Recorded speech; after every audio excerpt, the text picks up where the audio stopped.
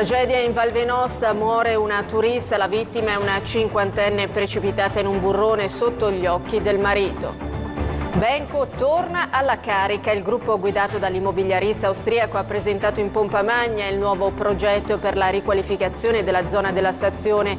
Meno cubatura rispetto all'originale strade tutte interrate.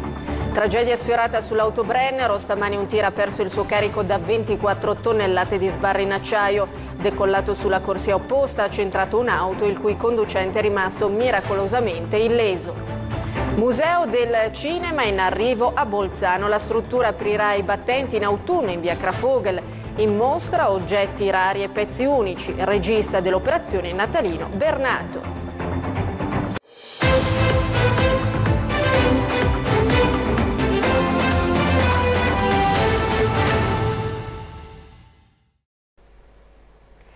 Telespettatori di Video 33 ben ritrovati ad un nuovo appuntamento con l'informazione. Come avete sentito dai titoli apriamo questo telegiornale con la cronaca nera. Una turista tedesca di 50 anni, Susanne Hell di Schleusingen in Turingia, è morta alle 11 di stamani dopo essere precipitata per circa un centinaio di metri dalla via Franz Huber sopra Parcines in Valvenosta, sentiero che la donna stava percorrendo assieme al marito. Ancora da chiarire le cause che hanno portato alla terribile caduta, costata la vita alla turista germanica che è morta praticamente sul colpo. Sul posto per il recupero della salma l'elicottero Pelican del 118 e gli uomini del soccorso alpino di Merano. Ed è salvo invece per miracolo un alpinista precipitato in un crepaccio in Valsenales. L'uomo stava salendo verso punta finale quando è caduto per circa 30 metri. Ha lanciato l'allarme con il telefonino ed è stato recuperato illeso dall'elicottero del 118. Cambiamo argomento, torna alla carica il gruppo Signa sul fronte della riqualificazione dell'area compresa tra via Garibaldi, via Alto Adige, via Le Stazioni e via Peratoner a Bolzano. Oggi è stato presentato nel dettaglio il nuovo progetto. Il progetto presentato oggi a Palazzo Menzi in via della Mostra a Bolzano è quello depositato in comune l'8 agosto scorso che rispetto all'originale prevede una ridotta quota di nuova cubatura e il mantenimento dei giardini della stazione ferroviaria, soddisfando così le richieste del comune. Confermato l'interramento di alcune strade con due distinte opzioni. Ritengo che il gruppo Signa ha fatto una grande innovazione nel, nell'immobiliare a Bolzano perché no, non propone solo di costruire so, 50 appartamenti o 1000 appartamenti, ma si occupa anche del problema come arrivare agli appartamenti. Nel nostro caso specifico noi abbiamo un progetto di mobilità molto sofisticato che eh, prevede un tunnel da, praticamente dal dal, dal parcheggio Bolzano 100 fino a, al parcheggio di Piazza Walter sotto via Alto Adige e in un progetto allargato che è quello che noi preferiamo anche un tunnel dove abbiamo un tunnel di, dove praticamente abbiamo un tunnel su Piazza Verdi, via Garibaldi, via Stazione e una parte di via Renon. Nel corso della presentazione, alla quale non ha partecipato l'immobiliarista austriaco René Benco, sono stati anche elencati 11 motivi per i quali il progetto targato Signa deve essere preferito a quello del gruppo Oberauch. L'associazione Bolzano Domani, con la sua presidentessa, ha ricordato gli effetti che potrebbe avere il progetto Benco sull'economia locale. Verranno creati dei posti di lavoro nella prima fase, già nei primi 3-4 anni di costruzione e poi anche dei posti di lavoro a lungo termine, soprattutto in questa fase di crisi lavorativa dove tanti perdono il lavoro, non vengono al momento creati nuovi posti di lavoro, questa è una grandissima opportunità per tutti. Oggi René Benco a Bolzano, come detto, non è arrivato, fermato in Germania per mettere a punto i dettagli del risanamento della catena di negozi Karstadt appena acquistata. A lui avremmo voluto chiedere quanti soldi si metterà in tasca nel caso in cui dovesse vincere la gara. Sono dati interni che io non posso dirvi, posso solo dire che con la nuova ipotesi guadagna molto molto di meno di quello che era originariamente previsto. Bilancio negativo per il turismo in Alto Adige tra maggio e luglio, mesi durante i quali è stato misurato un calo dell'1% negli arrivi e del 4,3% nelle presenze rispetto allo stesso periodo dell'anno precedente. Maggio ha fatto segnare un disastroso meno 21,1%, in controtendenza invece giugno che ha registrato un confortante più 12,1%, mentre a luglio è tornato il segno meno con un calo del 5,9%. Adesso è ufficiale, alcune importanti associazioni ed enti altoatesini dovranno restituire a Bruxelles soldi incassati attraverso il Fondo Sociale Europeo. Il tutto a fronte della mancanza parziale o totale dei requisiti richiesti. La lettera inviata dalla Commissione europea è stata recapitata il 22 agosto scorso alla dottoressa Cinzia Fleim, responsabile dell'area autorità di audit per i finanziamenti comunitari. Una lettera in parte pubblicata oggi dal quotidiano in lingua tedesca Tageszeitung contiene il rapporto finale elaborato a Bruxelles sulla vicenda dell'utilizzo dei fondi sociali europei in Alto Adige. E le notizie sono tutt'altro che buone perché nel rapporto si spiega esattamente per quale motivo alcuni enti e associazioni dovranno restituire quanto incassato, motivi che spesso sono da ricercare nell'errata interpretazione dei criteri richiesti da Bruxelles, per esempio sull'età dei partecipanti ai vari progetti progetti finanziati dalla Commissione europea o sulla loro necessaria residenza in Alto Adige. Ciò che più conta è che in sostanza ora viene richiesta in modo perentorio la restituzione dei due terzi di quanto incassato Veniamo al dettaglio, il Bauernbund, l'Unione Contadini, dovrà restituire 186.000 euro, l'Iveco 150.000, l'Accademia Gustav Mahler 128.000 euro, 97.000 euro la Procura di Bolzano, 19.000 euro il KVV, 15.000 l'Associazione Artigiani APA e 3.500 la Cooperativa Sociale Albatros. La provincia ha preannunciato di voler sanare la situazione mettendoci i soldi, operazione che però Bruxelles potrebbe potrebbe non accettare.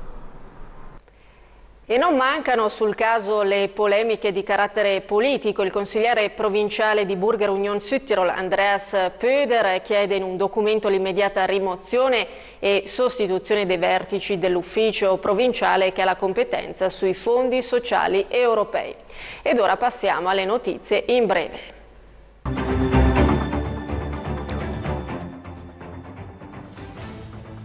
Cambio della guardia in vista al comando truppe alpine di stanza Bolzano nel corso di una cerimonia che si terrà il 12 settembre al Teatro Cristallo, nel capoluogo. Il generale Alberto Primiceri cederà il comando delle truppe alpine, retto dal 2009, al generale di divisione Federico Bonato. Primo incontro di lavoro congiunto oggi per gli assessori alla cultura dell'Euregio, Cristian Tomasini, Filippa Hammer e Florian Musner per la provincia di Bolzano, Beate Palfrader per il land austriaco del Tirolo e Tiziano Mellarini per la provincia di Trento. Nella sede del gruppo europeo di cooperazione territoriale all'Eurac a Bolzano hanno siglato un accordo teso all'intensificazione della collaborazione in ambito culturale. L'aiuto al Pindolomites è una parte essenziale del sistema del soccorso, lo ha detto l'assessore provinciale alla protezione civile Arnold Schuller nel corso di una visita alla centrale operativa di Ortisei. Accanto ai due elicotteri del Pelican, l'aiuto alpin è il terzo servizio di elisoccorso nel sistema altoatesino. Gli interventi sono concentrati nei mesi estivi ed invernali, in particolare per incidenti nel tempo libero e durante l'attività sportiva.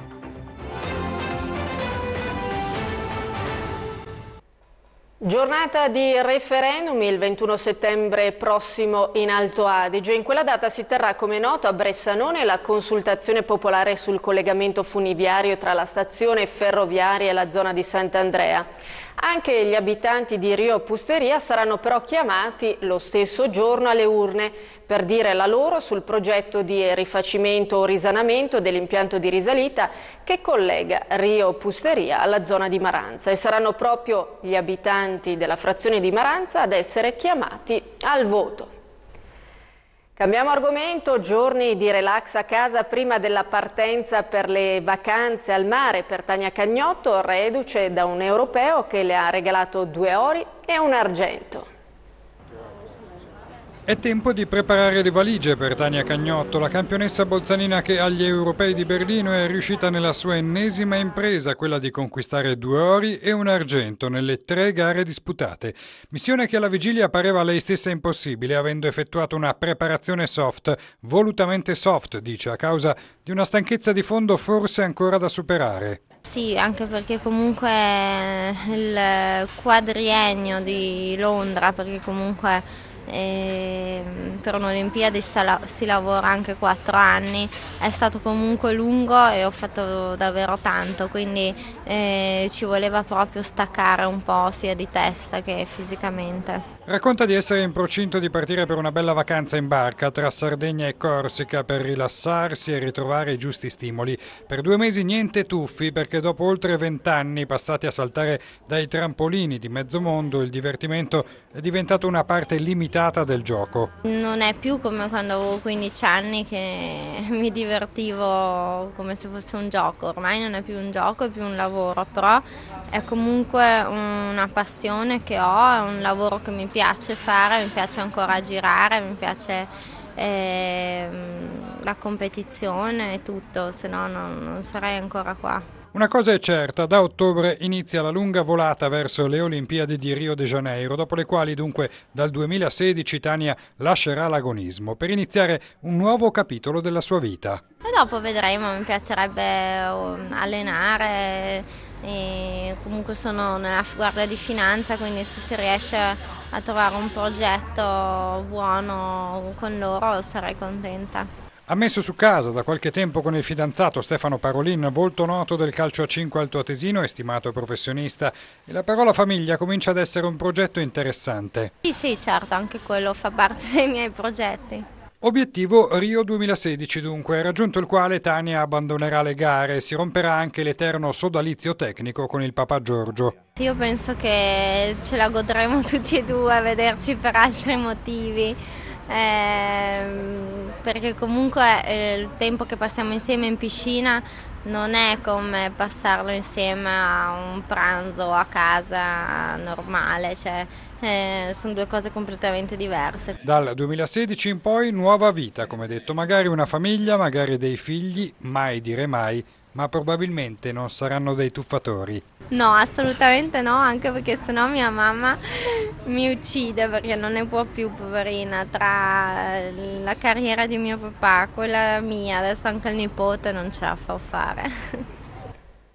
E torniamo alla cronaca, poteva avere conseguenze tragiche l'incidente verificatosi alle 7 sull'autostrada del Brennero nei pressi di Chiusa. Per cause imprecisate un tir che viaggiava in direzione sud ha sbandato finendo contro il guardrail perdendo il suo carico composto da 24 tonnellate di barra in acciaio che sono letteralmente volate sulla corsia opposta di marcia centrando un'auto che si è poi cappottata.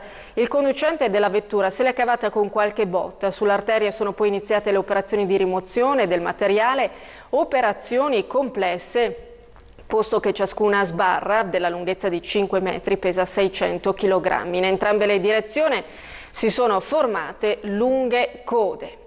Incidente sul lavoro stamani verso le 10 nei boschi sovrastanti il passo del Brennero, a rimanerne vittima un operaio macedone di 30 anni. Assieme ad alcuni colleghi stava tagliando degli alberi ad alto fusto non lontano da Malga Zirago. Una delle piante abbattute lo ha parzialmente travolto, procurandogli la frattura di un femore. Soccorso sul posto, l'uomo è stato poi trasportato in elicottero all'ospedale di Bressanone. Cambiamo argomento, serata all'insegna delle eccellenze enologiche, quella di ieri a Dobbiaco con la festa dei viticoltori. Anche il Meteo ieri ha dato una mano alla riuscita della manifestazione organizzata a Dobiaco dalla locale associazione turistica. Di scena i viticoltori con una serie di cantine che hanno proposto in degustazione i loro prodotti migliori in tutto in una splendida cornice, quella offerta dal paesaggio dell'Alta Pusteria e dalla piccola cittadina, meta in questo periodo di molti turisti. Noi veniamo spesso qui a Dobiaco perché ci piace tantissimo, d'estate, d'inverno, quando possiamo, d'estate a passare le vacanze d'inverno qualche weekend. Ehm. Numerose cantine altoatesine si sono presentate a chi già le conosceva e a chi in vacanza ha avuto così invece modo di avvicinarsi per la prima volta al mondo vitivinicolo made in Sudtirol. Dalla Bassa Tesina, dall'Oltradige, ma anche da Bolzano sono arrivate a Dobbiaco alcune delle etichette più prestigiose per un evento che ha dato modo di ravvivare Dobbiaco anche a sole ormai tramontato. Ci sono diversi vantaggi con questi eventi di carattere materiale, economico, ma anche immateriale materiale. I nostri eh, negozianti si organizzano, assieme costruiscono fa, costruiscono questa offerta molto articolata, molto ricca. Questa sera ad esempio è accompagnata con una eh, con, una, con un assaggio di vini tutti i vini locali che possono essere apprezzati e vengono apprezzati sia dai turisti che ovviamente dai nostri concittadini ed è una catena, è un puzzle, è un tassello di un puzzle di grandi eventi, di molti eventi che offriamo al turista, sia di carattere culturale che musicale, che sportivo, che appunto culinario gastronomico. Una scossa di terremoto di magnitudo 2.7 della scala Richter è stata avvertita alle 13.30 nella zona di Cengles nel comune di Lasa in Alta Val Venosta. Non si registrano feriti né danni. La scossa odierna è stata rilevata da qualche abitante di Cengles che ha allertato il 118. Il grado 2.7 rientra per poco nella seconda fascia di magnitudo della scala Richter che va da 2 a 2.9 e comprende le scosse che sono avvertite solo minimamente. Incidente stradale poco dopo mezzogiorno lungo la provinciale che collega Meltina e Verano, un 51enne norvegese in sella alla sua moto per causa in via d'accertamento. In prossimità di una curva è venuto a collisione con una macchina. Il Centauro è stato ricoverato con lesioni medio-gravi all'ospedale di Merano. E con questo è tutto per quanto riguarda la prima parte, ma rimanete con noi perché subito dopo torneremo con il magazine dedicato alla cultura e con lo sport.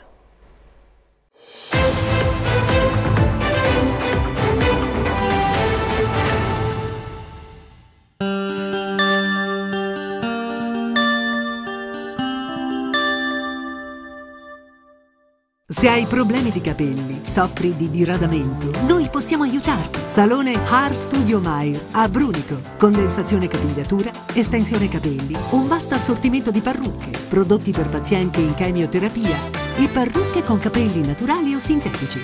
Consulta un nostro specialista in modo gratuito e senza impegno e vedrai che abbiamo una soluzione anche per il tuo problema. Oltre 30 anni di esperienza Salone Hair Studio Mair a Brunico. Individuale, competente, discreto.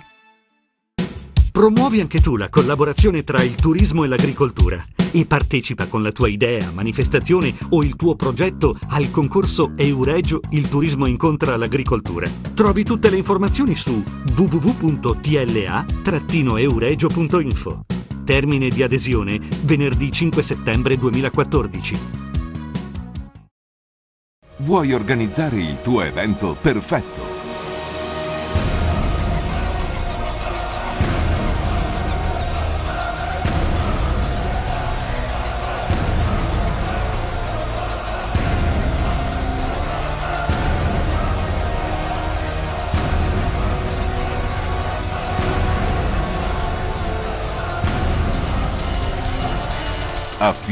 Degli esperti. Show Vision Event Technology. Lo Stirodler a Lienz. Tutti ne vanno pazzi. Con 2700 metri, l'Alpine Coaster più lungo delle Alpi orientali, il più spettacolare d'Europa. Aperto tutto l'anno, indipendentemente dal tempo, facilmente raggiungibile in gondola. Divertimento allo stato puro per grandi e piccini. Ideale per una gita con tutta la famiglia. Lo Stirodler, a due passi dalla bellissima città di Lienz. www.ostirodler.at